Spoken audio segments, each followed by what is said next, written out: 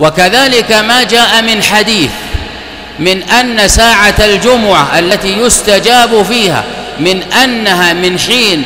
ما يقوم الإمام